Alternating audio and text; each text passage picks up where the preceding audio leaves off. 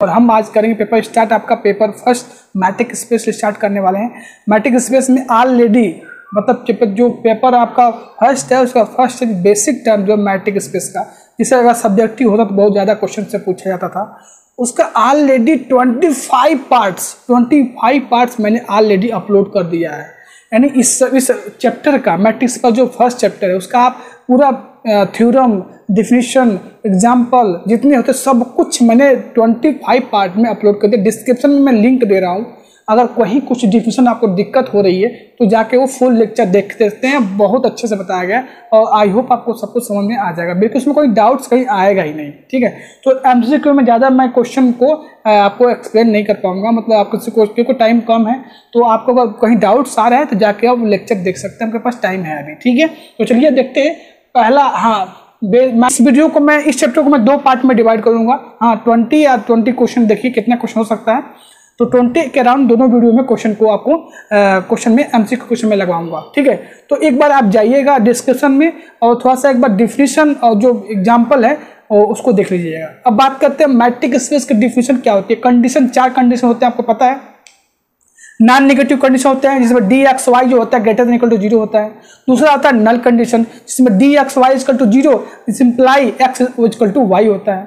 तीसरा होता है सिमेट्रिक कंडीशन यानी D X Y equal to D Y X होता है। चौथा उसमें होता है ट्रायंगुलर इनक्वालिटी कंडीशन जो होता है, यानी D X Y equal to less equal to D X Z plus D Z Y होता है। ये चार कंडीशन होते हैं। पार्ट वन में बताया गया आपको डिफिनीशन मैट्रिक स्पेस का। कैसे क्वेश्चन को ला, ला, लगाते हैं ये भी सब कुछ करवाया गया है। तो आप जाके एक बार देख लीजिएगा चलिए पहला क्वेश्चन देखते हैं। The property D X Y equal to D Y X is known as simple है। इस प्रॉपर्टी को क्या बोलते हैं? सिमेट्रिक कंडीशन बोलते हैं। क्या बोलते हैं? सिंपल सिमेट्रिक कंडीशन बहुत इजी है। तो सेकंड ऑप्शन क्या करेक्ट हो जाएगा? फ़र्स्ट थर्ड और डी क्या इनकरेक्ट हो जाएगा। क्वेश्चन नंबर टू देखिए। The property D X Y less than equal to D X Z plus D Z Y is called इस कंडीशन को क्या बोलते हैं हम? ट्रैंगुलर इनक्वालिटी कंडीशन बोलते हैं। फ़र्स्ट ऑप्शन करेक्ट है सेकेंड थर्ड और डी आपका क्या इनकरेक्ट है। क्वेश्चन नंबर थर्ड देखिए if D X Y X D is metric space then D is called dash on D D क्या होता है? मैट्रिक होता है किस पर? आन एक्स पे। ऑप्शन सी करेक्ट है। फ़ंक्शन रिलेशन और metric space incorrect question number four देखिए which of the following is not a metric space ठीक है? तो ये देखिए D x Y cut to mod X plus mod Y है ना? ये कौन सी कंडीशन को फेल करेगा? इस पर आप, इसको क्वेश्चन को आप ट्राई करिए, लगाइएगा। ये भी और ये भी, दोनों ये मैट्रिक स्पेस फॉर्म ना करते। हैं तो इसका जो थर्ड कंडीशन आपका है second condition triangular null condition वही फिल करता है। तो ये भी मैट्रिक्स स्पेस फॉर्म नहीं करता है भी नहीं करता है। यानी सी ऑप्शन जो है बोथ ए और बी क्या है? करेक्ट है। ऑप्शन नंबर डी क्या है? इनकरेक्ट है। बी इनकरेक्ट है और ए भी इनकरेक्ट है। क्वेश्चन नंबर फाइव देखिए। The usual metric on R is defined है यूजुअल मैट्रिक्स को हम इक्विडियन भी बोलते हैं।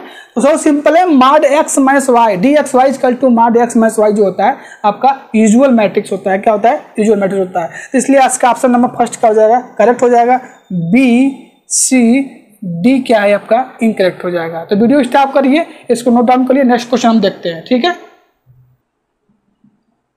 आइए नेक्स्ट क्वेश्चन देखते हैं नेक्स्ट क्वेश्चन तो फ़र्स्ट क्वेश्चन देखिए सिक्स क्वेश्चन नंबर देखिए let x d be a metric space which are the following is not metric on x आपको पता है कि d x y metric space है, उसमें एक पॉजिटिव नंबर से आप मल्टीप्लाई कर देंगे तो भी क्या होगा, वो मैट्रिक स्पेस फॉर्म करता है। तो ये metric space first option d x one d one x y equal to के d x y matrix form करेगा।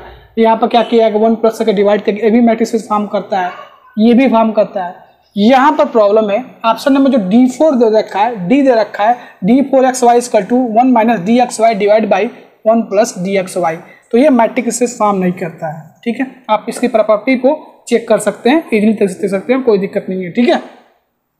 क्वेश्चन नंबर सेवन देखिए। The discrete matrix on non empty set x is defined बहुत simple question है। Discrete matrix की definition क्या होती है? सबको पता है कि डी एक्स वाई जब एक्स बराबर zero x equal to y होता है तो ज़ीरो होता है। X not equal to y पे वन होता है। तो इस तरह का जो मैट्रिक स्पेस होता है क्या बोलते हैं उसे हम? डिस्क्रिट मैट्रिक स्पेस बोलते हैं ऑप्शन नंबर फ़र्स्ट क्या करेक्ट है? बाकी जो option number b c d ये क्या है? रॉन्ग है। क्वेश्चन नंबर एट देखिए। Let a is equal to a1 a2 an and b is equal to b1 b2 bn b any two points of rn. Then, summation i बराबर one two n mod a i b i less than equal to i बराबर one two n x i का square के power one by two and sorry यहाँ पर ए आई होगा।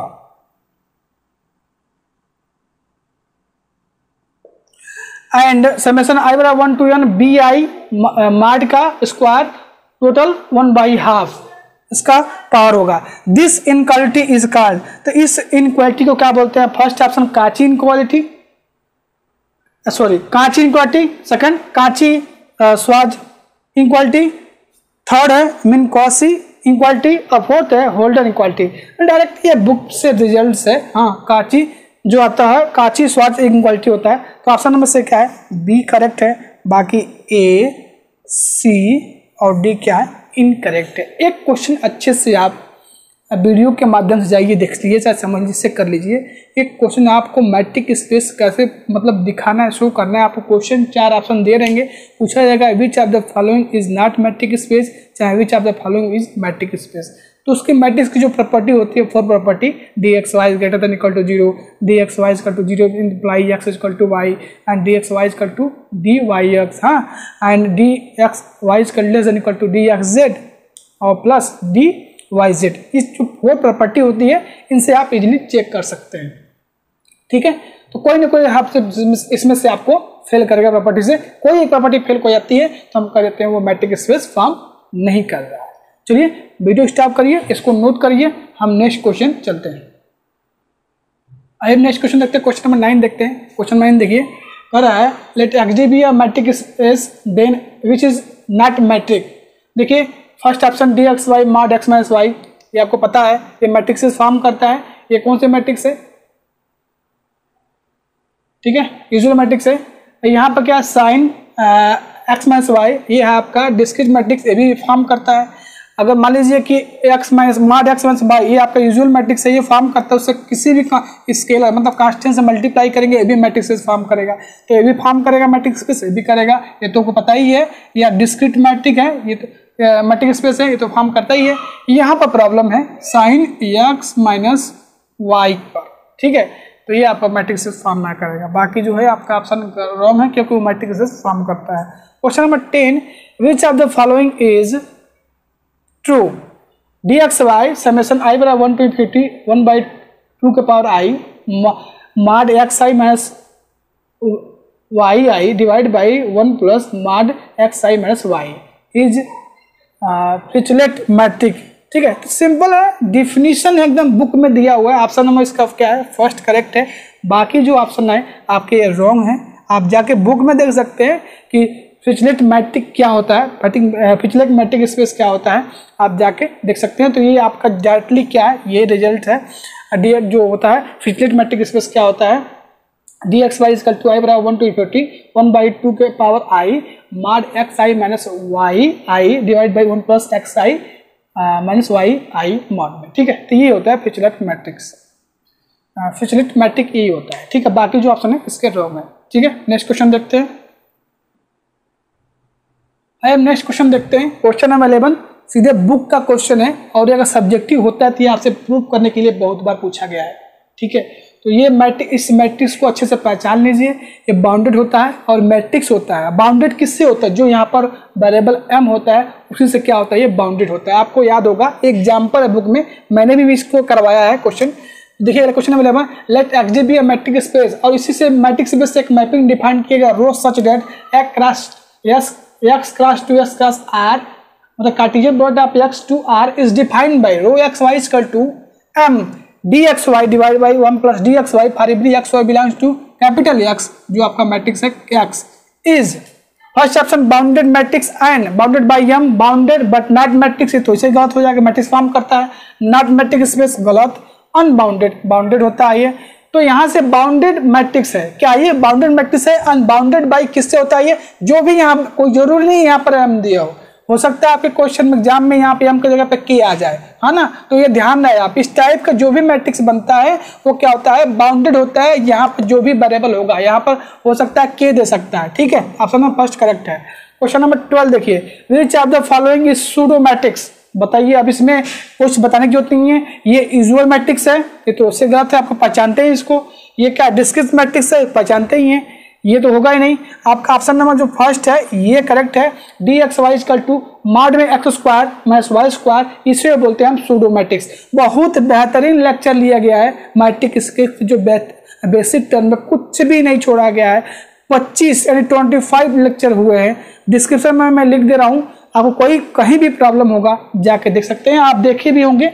अगर आप stage पर अगर स्टडी कर रहे होंगे तो। क्वेश्चन नंबर थर्टीन देखिए in usual matrix r the close interval a comma b is neighbourhood of obvious है? देखिए, मैं आपको इंटरवल के बारे में बता देता हूँ।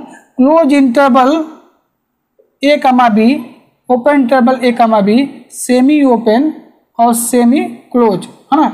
जब क्लोज होता है तो वो उसको पॉइंट को छोड़ के बाकी सारे पॉइंट उसके क्या होते हैं? नेबरहुड होते हैं। ऐसे मान लीजिए क्लोज इंटरवल में ए कमा बी को छोड़ के इसके सारे पॉइंट्स क्या इसके नेबरहुड हैं। ओपन इंटरवल में सारे वो नेबरहुड हैं। सेमी में बस बी को छोड़ के, इस बी को छोड़ के इसके सारे पॉइंट्स क्या है? नेबरहुड बनाते हैं। है ना? यहाँ पर ए को छोड़ के सब क्या है? नेबरहुड फॉर्म करते हैं। तो इसका ऑप्शन बहुत ईजी है, आप इसको इजीली कर सकते हैं। ठीक है? फ़र्स्ट ऑप्शन है each of its points except the end point. बिल्कुल है, इसके इंड पॉइंट को छोड़ के बाहर सारे पॉइंट्स क्या आते हैं इसके नेबरहुड होते हैं। ऑप्शन ए करेक्ट है b each of its points बिल्कुल नहीं ओपन में टर्म होता है। Each of its end point, है ना? गलत नेक्स्ट है, गलत। आपका ऑप्शन नंबर डी भी क्या हो जाएगा रॉन्ग हो जाएगा। तो इंटरवल में नेबरहुड समझ लीजिए कि अगर ओपन इंटरवल है तो ईच ऑफ़ इट्स पॉइंट्स उसके नेबरहुड बनेंगे। मतलब जितने पॉइंट्स है क्लोज जब भी होगा तो उसको एक्सक्लूड करके उसके सारे पॉइंट क्या होंगे नेबर्ड होंगे। ठीक है? चलिए वीडियो स्टार्ट करके सोना डाउन करिए। हम नेक्स्ट क्वेश्चन चलते हैं, ठीक है? I am question number next question number fourteen देखते हैं। In r u r u क्या हमारा यूजुअल मैट्रिक स्पेस है? ठीक है which of the following is incorrect इसमें से कौन सा ऑप्शन क्या है? इनकरेक्ट है। बिल्कुल ये सारे क्या है? नेबरहुड और लिमिट पॉइंट के बेस पे डायरेक्टली रिजल्ट्स हैं। ये आपको एकदम पूरा आप पढ़ रहे हो थर्ड ईयर में। आपको सब कुछ पता होना चाहिए। फ़र्स्ट ऑप्शन देखिए r and five are neighbourhood of each of their points बिल्कुल करेक्ट है set of natural number set of rational number are not neighbourhood of any of their point बिल्कुल सही है set of natural number set of integer set of rational number इनके पास neighbourhood नहीं होता है। Open interval a comma b is neighbourhood of each of its points ये भी करेक्ट है। A finite set neighbourhood of each of its point बिल्कुल, यहाँ पर गलत है। फाइनाइट सेट के पास नेबरहुड नहीं होता। है यहाँ पर बोला जा रहा है कि इसके सारे पॉइंट्स क्या है? नेबरहुड होंगे। तो ऑप्शन नंबर क्या है? डी करेक्ट है। क्वेश्चन फिफ्टीन देखिए। In let r u be the usual metric space and a subset of r then choose incorrect क्या बोला गया? Choose incorrect if a equal to close interval a comma b then a का limit point close interval हो जाएगा। Interval जितने होते हैं, सबका जो इसका डिराइव सेट या लिमिट पॉइंट बोलिए ए डैश क्या होगा? मतलब इसका ए इजकल टू अगर open interval a comma b है क्लोज इंटरवल सेमी ओपन है और सेमी क्लोज है तो सबका जो लिमिट पॉइंट यानी ए डैश आएगा, वो क्या आएगा? क्लोज इंटरवल आता है। देखिए ऑप्शन नंबर करेक्ट है। A equal to set of rational number इसका सेट ऑफ़ रेशनल नंबर का जो लिमिट पॉइंट होता है, वो सेट ऑफ़ रियल नंबर होता है। इम्पिटी सेट है नॉट लिमिट पॉइंट बिल्कुल, क्योंकि फाइनाइट होता है और फाइनाइट सेट के पास लिमिट पॉइंट नहीं होता है। ऑप्शन नंबर डी अब फाइनाइट सेट हाई लिमिट पॉइंट यहाँ पर रॉन्ग है। फाइनाइट सेट के पास लिमिट पॉइंट नहीं होते हैं क्योंकि उनके पास नेबरहुड नहीं होते हैं। तो ऑप्शन नंबर क्या है आपका? डी करेक्ट है। वीडियो स्टॉप कर लीजिए। वीडियो स्टार्ट करके नोट डाउन कर लीजिए। तो इस पार्ट में हमने 15 क्वेश्चन किया। नेक्स्ट पार्ट में कुछ और इससे क्वेश्चन तो नेक्स्ट पार्ट में कुछ और भी इस चैप्टर से क्वेश्चन जो बनेंगे, वो आपके लिए हम लेके आएँगे। फिर मिलते हैं फिर नेक्स्ट वीडियो में। तो थैंक यू बाय बाय